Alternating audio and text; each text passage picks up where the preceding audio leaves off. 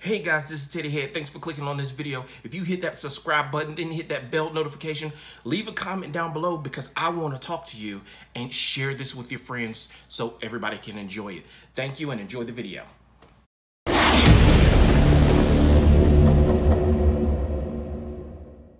So today we're going to be looking at a long time running play, which has actually now made its way into the theaters. It's called In the Heights. And for this play, which is now a musical, the music and the lyrics were actually written by Lin-Manuel Miranda.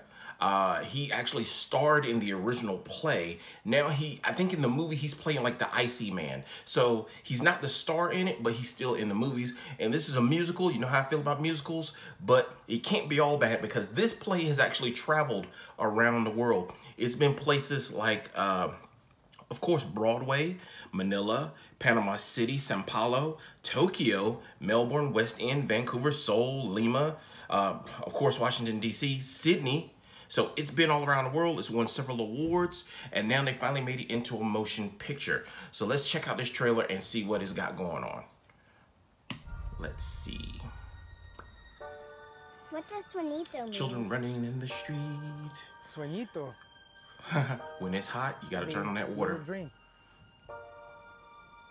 And That's he it? wrote the lyrics. No And- story? All right, all right, everybody Music. sit down, sit down.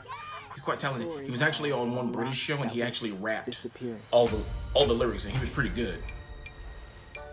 in un called Jon M. Washington Chu, Heights. Christopher H. The I don't know. I, I didn't like that movie so much. music. It's very different. I am Usnavi, and you probably never heard my name. It was just like fame are rich people on rich people. Uh, it doesn't make a very interesting camaraderie. It'd be interesting if it was like And these Middle class people you can't rich walk people two or- steps without bumping into someone's big plan. I make it those ladies that walk some with attitude. There's the icy guy. What? Okay. Still ain't got no skills. A party in the pool. I've been saving up all my pennies in my piggy bank for this day. This is going to be an emotional roller coaster. The odds are against you. bodega. But there's a chance, right? Beer coaster. A dream isn't some sparkly diamond. There's no shortcuts. Sometimes it's rough. Mm. I don't think too many people are running down the middle of the street in New York. World spins around while They I'm take it for focused on jaywalking up there. So. people that I know They're talking about kicking out all the dreamers. Every day is different. Or dancing. They're having a whole street party when nothing went off. We had to assert our dignity in small ways. Little details that tell the world we are not invisible. Ignore anyone who doubts you. We came to work and to live, and we got a lot in common. Oh, pool party? There's Dasha. Oh, I love this. DRPR, we are non-stop. He's on the- literally on the side of a building.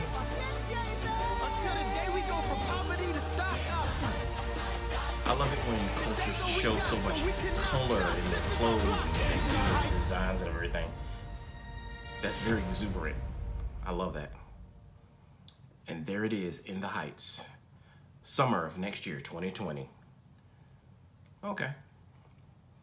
Well, that trailer looks very colorful. Everybody's partying all the time. There seem to be a few sad moments in there. Um,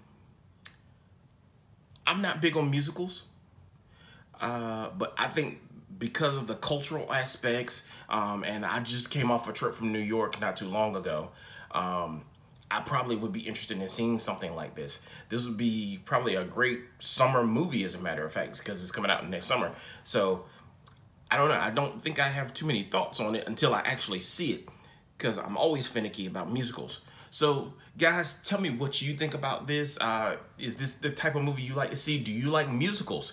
If you like musicals, let me know down in the comment what's your favorite musical that you've ever seen.